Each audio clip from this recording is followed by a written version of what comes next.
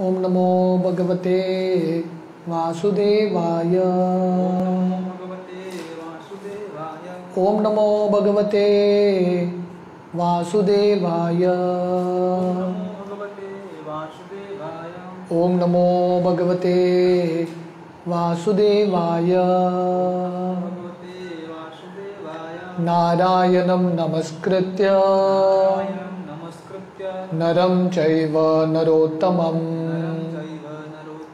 देवीं सरस्वतीं व्यासं ततो जाय मुदीरये। नष्टप्रायेषु अभद्रेषु। नित्यं भागवतसेवया भगवती उत्तमश्लोके भक्तिर्भवति नैष्टिके कृष्णाय वासुदेवाय। देवकी नन्दनाय च। नन्दनाय च नन्दगोपकुमाराय। गोपकुमाराय गोविन्दाय नमो नमः। नमो नमः नमो पङ्कजनाभाय नमो पङ्कजनेत्राय पङ्कजनेत्राय नमस्ते पङ्कजाङ्ग्रये हरे कृष्ण। टेक्स्ट टेन दसवा श्लोक। पुरुषो अंधम विनिर्विद्य। यदा सो स विनिर्गिता। सोऽविनिर्गित आत्मनो यनम अन्विञ्चन्। आत्मनोऽयम् अन्विच्छन् अपो सारक्षि शुचि शुचि शास्त्राग्रे शुचि शुचि what what purushah the supreme person paramatma andam the universes vinirvidya making each of them separately situated yada when aso the same saha he the lord vinirgata came out atmana of himself ayanam lying in place unvinchan desiring apaha water Asrakshit created, Shuchi the most pure, Shuchi transcendental. Translation After separating the different universes, the gigantic universal form of the Lord Mahavishnu, which came out of the causal ocean, the place of the appearance for the first Purush avatar, entered into each of the separate universes, desiring to lie on the created transcendental water, Garbhodak. तो हमने देखा कि यहाँ तक सुखदेव गोस्वामी ने परीक्षित महाराज को भागवतम के दस अलग अलग विषय के बारे में बताया है उसका डेफिनेशन दिया है। अभी ये दसवें श्लोक से सुखदेव गोस्वामी पहला विषय भागवतम का हम समझा रहे हैं। तो भागवतम का पहला विषय क्या है? सर्ग प्राइमरी क्रिएशन तो ये प्राइमरी क्रिएशन कैसा होता है, उसका वर्णन यहाँ पे शुरू हो रहा है। तो यहाँ पे वर्णन है कि कारण सागर में महाविष्णु लेटे हैं, या कारणोदक्षाई विष्णु लेटे हैं, और उनके हरेक रोम से, रोम के हरेक छेद से एक ब्रह्मांड आता है। और हरेक ब्रह्मांड में फिर से कारणोदक्षाई विष्णु, महाविष्णु गर्भोदक्षाई विष्णु के रूप में प्रवेश करते हैं। और गर्भोदक सागर, आधा जो ब्रह्मांड है, गर्भोदक सागर से भरा है, उसमें लेटते हैं। तो यहाँ से सर्ग का शुरुआत होती है, पहला creation the primary creation purport after analysis of the living entities and the supreme lord Paramatma the independent source of all other living beings Srila Sukhdev Goswami is now presenting the prime necessity for devotional service of the Lord, which is the only occupational business of all living entities. तो शिला प्रभुपाद यहाँ पे समझा रहे हैं कि सुखदेव गोस्वामी भागवतम के अलग अलग विषयों का वर्णन करके अल्टीमेटली दसवां विषय का वर्णन करते हैं आश्रय कि भगवान विष्णु भगवान श्री कृष्ण हर एक व्यक्ति के आश्रय है इसलिए सुखदेव गोस्वामी वर्णन कर रहे हैं कि हमारा प्राइमरी ऑक्यूपेशन हम सबका सबसे महत्वपूर्ण कर्तव्य है भगवान की भक्ति। द प्राइम नेसेसिटी सबसे महत्वपूर्ण नीड है नेसेसिटी है भगवान की भक्ति, जो जीवों का सबसे महत्वपूर्ण कार्य है।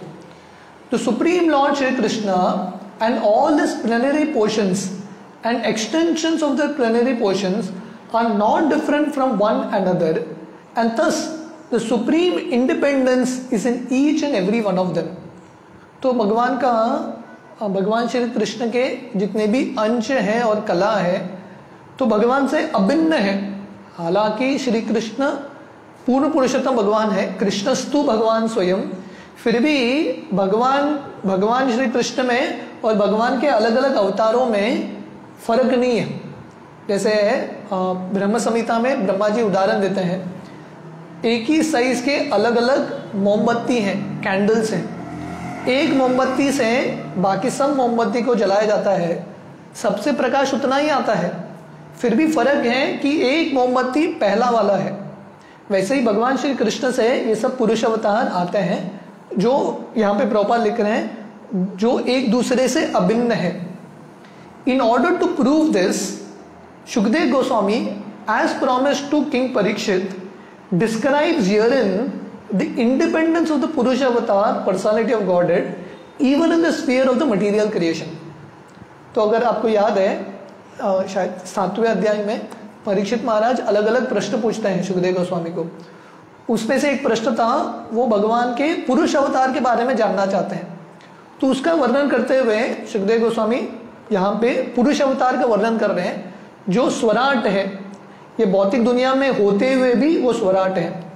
Such activities of the lord are also transcendental and therefore they are also lila और pastimes of the absolute of the absolute lord तो यहाँ पे दो बार शब्द आता है शुचि ही।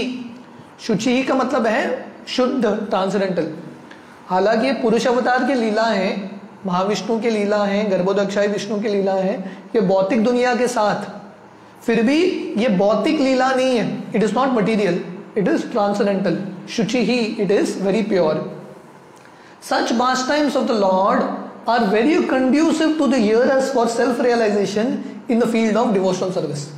तो ऐसा जो लीलाएँ हैं, भगवान के भौतिक सृष्टि का लीला, भगवान का माया शक्ति के साथ जो आदान प्रदान है, वो भी भगवान का दिव्य लीला है. किसी को ये नहीं समझना चाहिए कि सिर्फ़ भगवान का वृंदावन लीला ट्रांसडेंटल है और ये सब जो सृष्टि का लीला है ये भक्तों के लिए नहीं है। नहीं प्रॉपर यहाँ पे लिख रहे हैं this is also in the field of devotional service ये भी भक्ति है और ये कथा सुन के भी भगवान की सृष्टि का लीला सुन के भी व्यक्ति का परि, परिवर्तन होगा और हृदय का शुद्धिकरण होगा। Some men argue why not then relish the transcendental lila of the lord then sorry someone may argue why not then relish the transcendental leela of the lord as exhibited in the land of mathura and vrindavan which are sweeter than anything in the world तो कोई प्रश्न पूछेगा हम भागवतम में ये कृष्ण के ग- विष्णु महाविष्णु की ये सब लीला क्यों पढ़ रहे हैं सृष्टि के निर्माण का सीधा हम जाते हैं भागवतम का दसवां स्कंद कृष्ण का वृंदावन मथुरा लीला पढ़ते हैं वही तो मधुर है तो ये कहाँ से मधुर है Srila Vishwanath Chakravarti Thakur replies that the pastimes of the Lord in Vrindavan are meant to be relished by advanced devotee of the Lord. तो विश्वनाथ चक्रवर्ती ठाकुर इसका उत्तर देते हैं। तो प्रश्न है कि हमको ये लीला पढ़नी चाहिए कि भगवान का वृंदावन लीला पढ़नी चाहिए?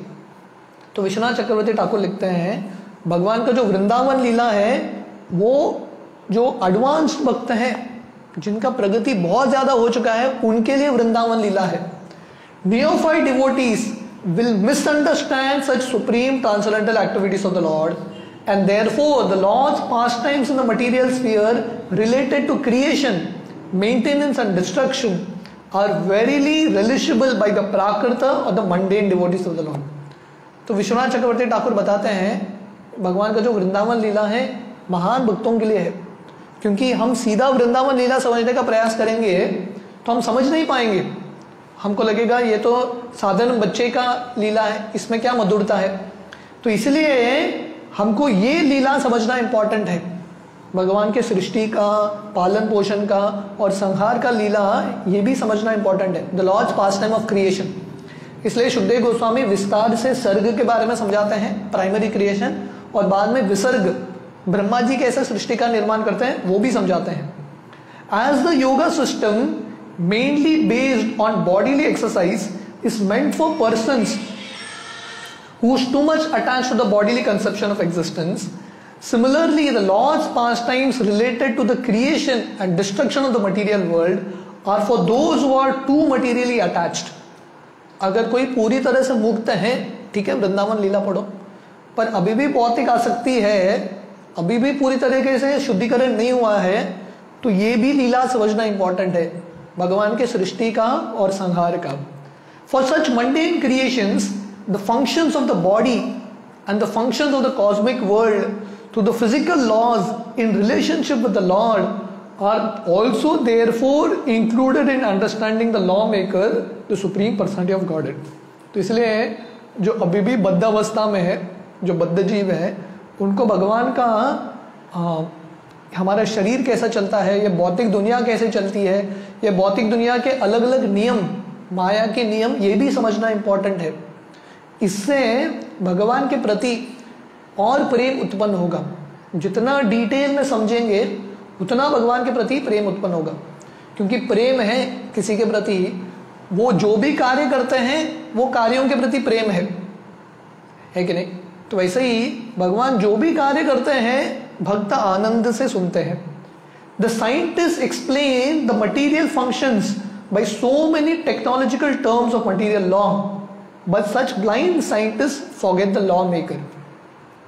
तो वैज्ञानिक भी ये दुनिया के बारे में बात करते हैं। अलग अलग नियमों के बारे में रूल्स लॉज के बारे में बात करते हैं। लॉज ऑफ़ फिजिक्स थर्मोडाइनमिक्स इतने सारे लॉज के बारे में बात करते हैं, पर एक चीज़ के बारे में बात नहीं करते। लॉ मेकर किसने ये नियम बनाया है? लॉ ऑफ़ ग्रेविटी है, पर ये लॉ ऑफ़ ग्रेविटी किसने बनाया है? उसके बारे में बात नहीं करते।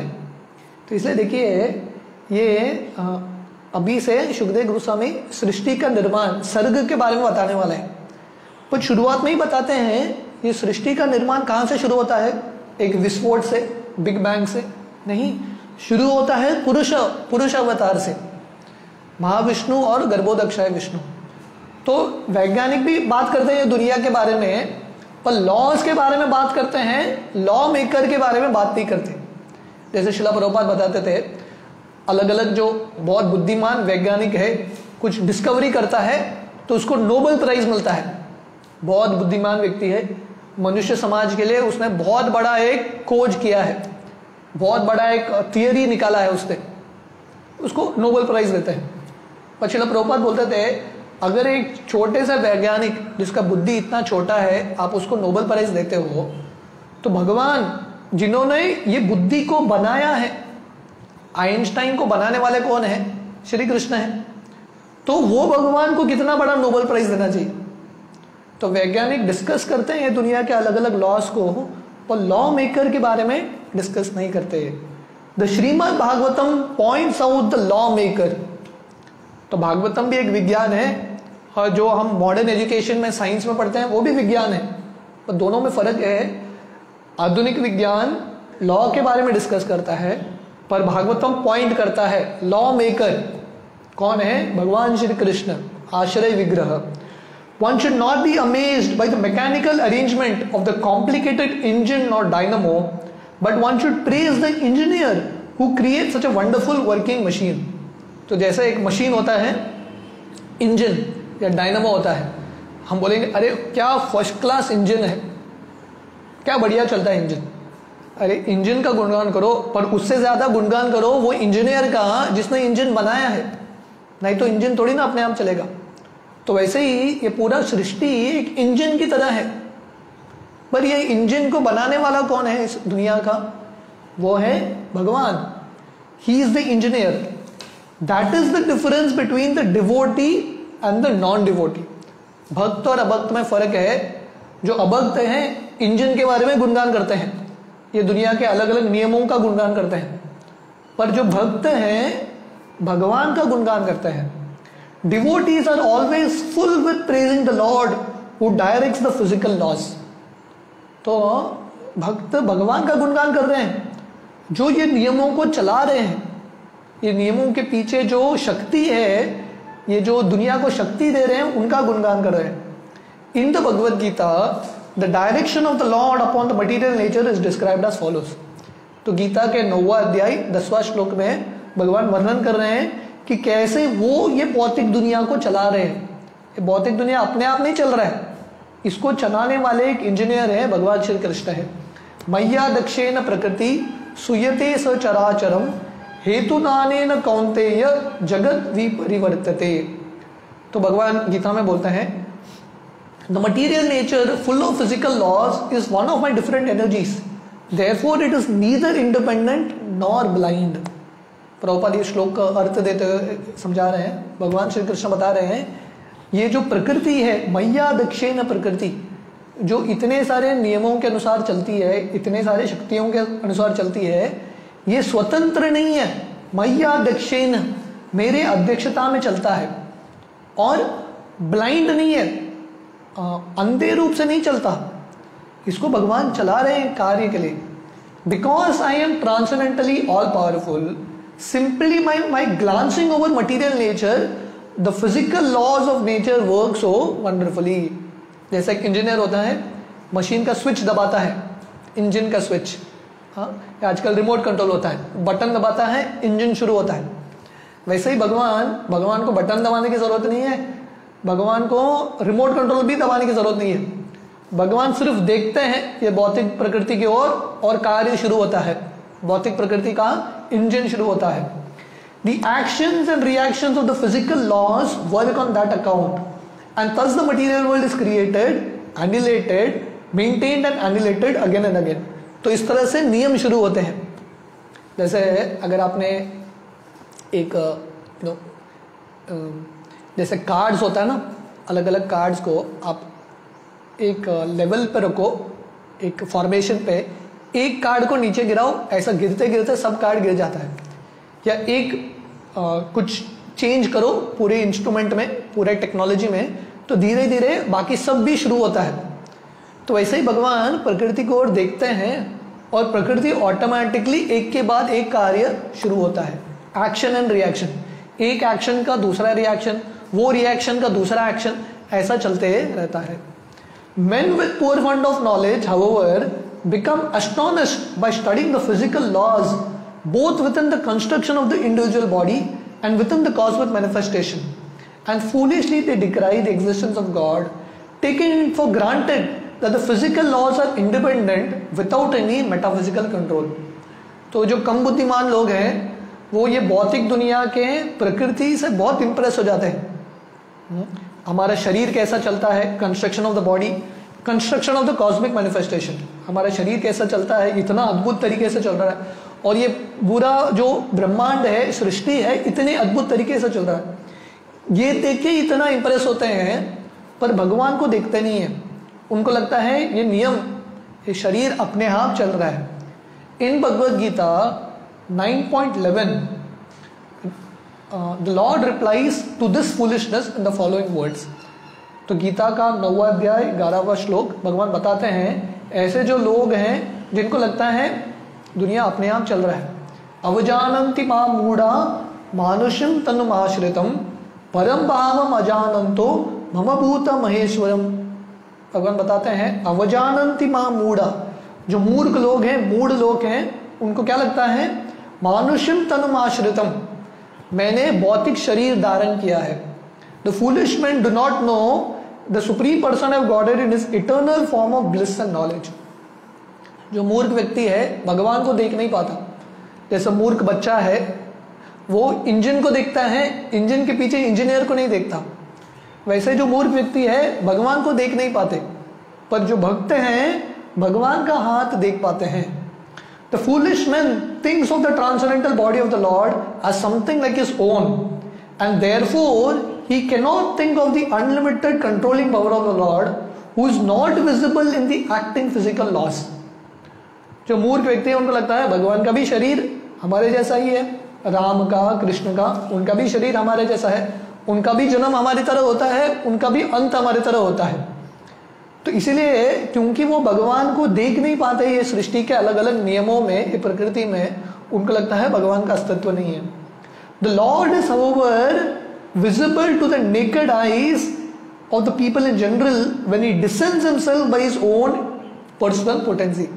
तो ये जो भगवान है, जिनको कोई देख नहीं सकता, भगवान बहुत कृपा से उनकी बहुत बड़ी दया से ये दुनिया में अलग अलग अवतार लेते हैं, ताकि साधारण व्यक्ति भी उनका दर्शन कर पाए। Lord Krishna incarnated himself as he is and played very wonderfully पाँच as the lord himself and the Bhagavad Gita concern such wonderful action and knowledge तो भगवान श्री कृष्ण आते हैं, है कि नहीं?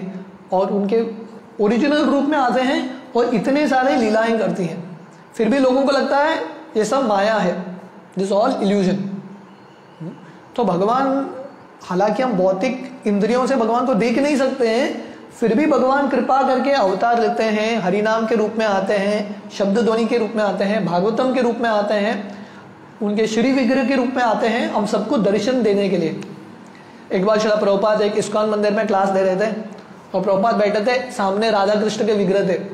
तो एक व्यक्ति खड़ा हुआ और उसने प्रभुपाद को पूछा, प्रभुपाद आपने भगवान कृष्ण को देखा है क्या? आपने भगवान को देखा है क्या?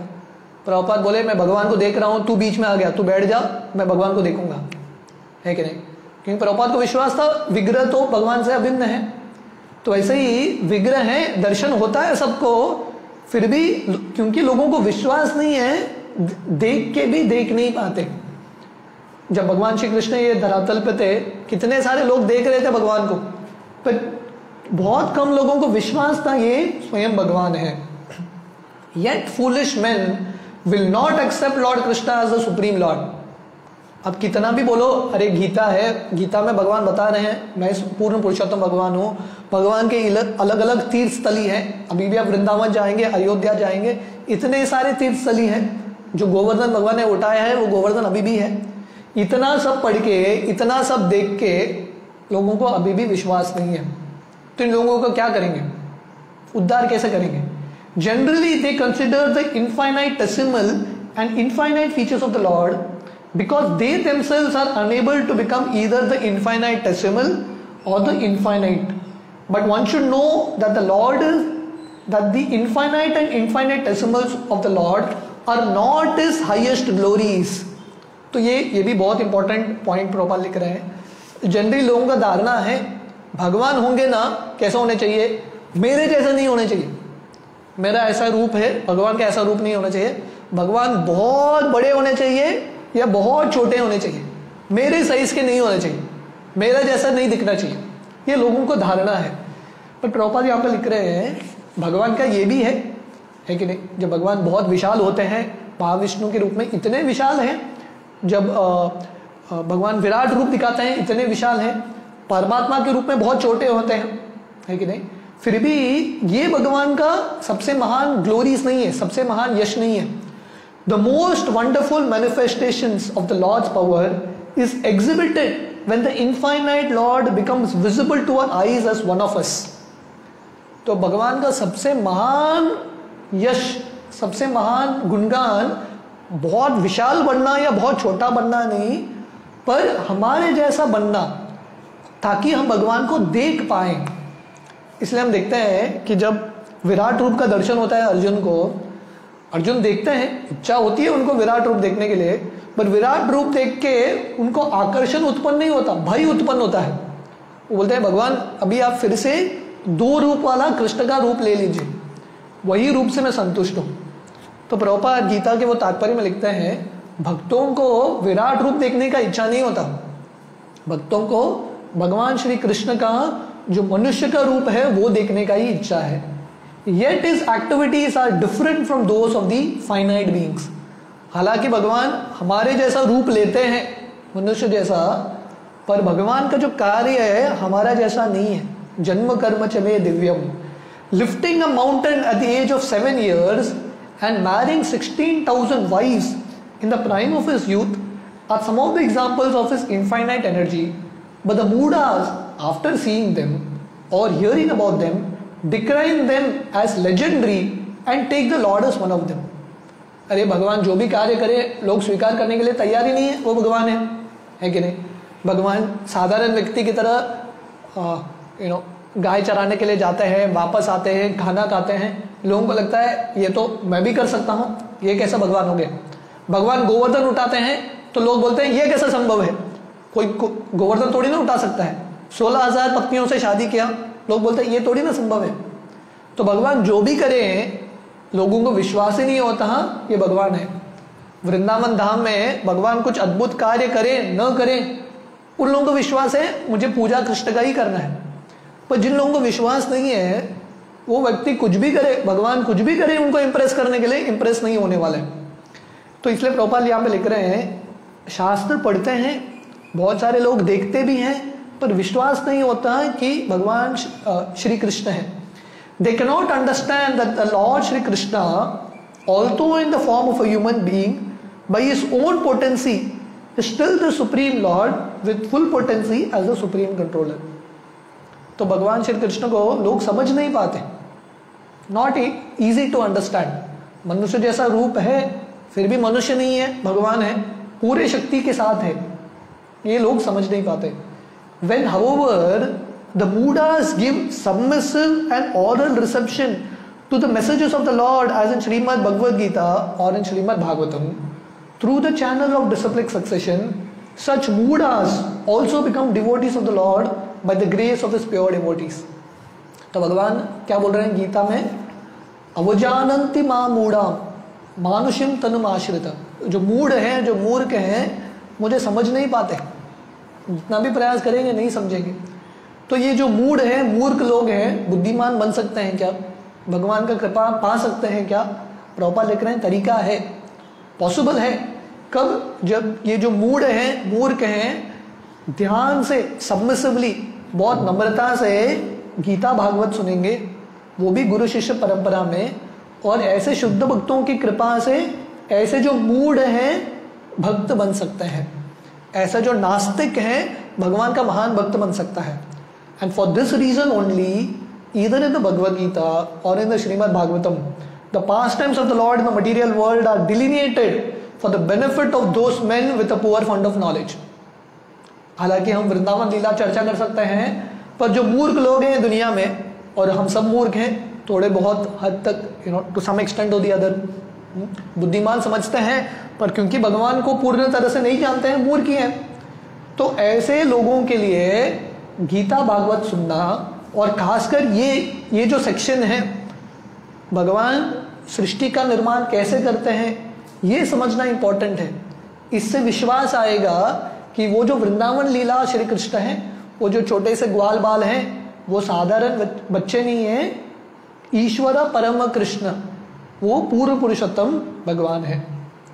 तो टेक्स्ट 11 से हम ये जो सर्ग का कंटिन्यूएशन है, सृष्टि का निर्माण प्राइमरी क्रिएशन का कंटिन्यूएशन है, वो हम कल सुबह से देखेंगे। हरे कृष्ण।